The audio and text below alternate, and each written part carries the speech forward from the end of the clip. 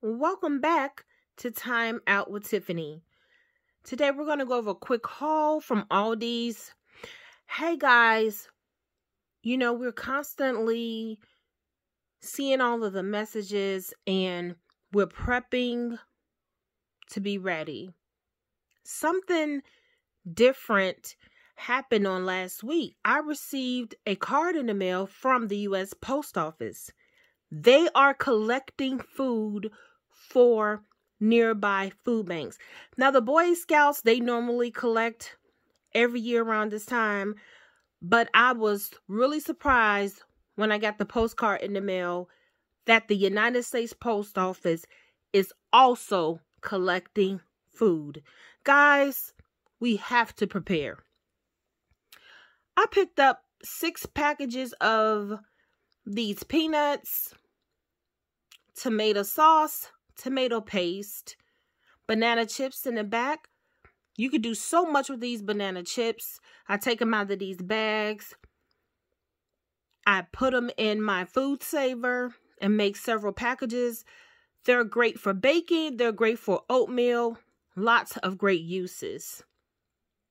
This pumpkin pie or pumpkin filling. No preservatives. Picked up six cans of those. I add those in this pumpkin spice muffin mix, these two packages, just for an example. You can also add it in quick bread, so many different uses, and also for your pets. Now, I had a hard time finding several cans of the organic beans from Aldi's. I finally did, but there was only one can of pinto beans, so I got what they had. Restocked on my sprays for cooking. I have butter, canola, and I think olive. I think I have olive too. A couple of containers of grapeseed oil. And every time I go to Aldi's, I'm picking up a couple of cans of canned meat. These four cans were on sale for Walgreens. I just threw that in the haul.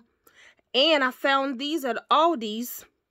These were a dollar and I was so surprised. So I picked up four packages of the Dakota green split peas. Guys, this small haul did not cost a lot. I will continue to add to my pantry because it is my responsibility to make sure my family of four have exactly what we need. Guys, we're practicing the two P's over here. Remember, we're praying and prepping. See you on the next one. Bye-bye.